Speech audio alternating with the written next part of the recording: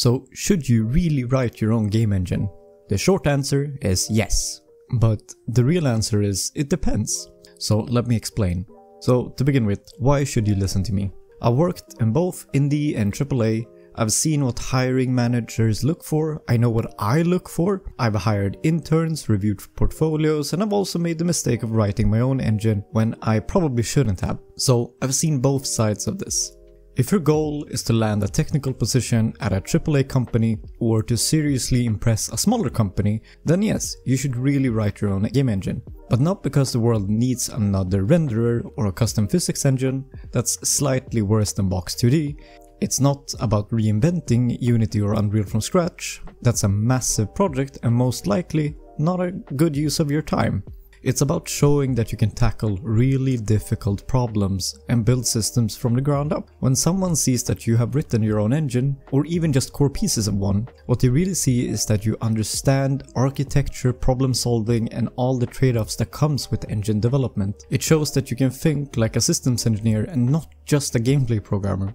For example, maybe you built your own scene graph or you implemented asset streaming to handle large open worlds. Maybe you even wrote your own job system and managed multi-threading or created your own uh, entity component system because of the off-the-shelf ones didn't meet your needs. Maybe you made your own debug UI because you needed better tooling. All of those are impressive not because they're flashy, but because they are somewhat hard. They show discipline, persistence and a deep technical understanding. Compare that to yet another Unity project with a generic character controller and a couple of particle effects. One of those stands out, the other one doesn't.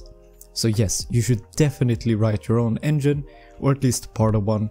If your goal is to stand out as a serious technical developer, it's less about the end product and more about thinking and the engineering that went into it. But if your goal is to release a game on Steam and you don't have any serious technical restrictions, then just use Unity or Unreal or Godot or any other pre-made engine. Seriously, don't overthink it. These engines exist for a reason they have been battle tested by thousands of developers across all genres and platforms. They come with tools, workflows and optimizations that would take you years to build on your own and even longer to polish. So why would you, the local buffoon, think you can do better than some of the world's best engineers? Want to build a level editor? Already there. Need an animation tool? Already there. Cross-platform?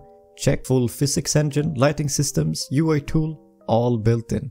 You also get access to a massive ecosystem.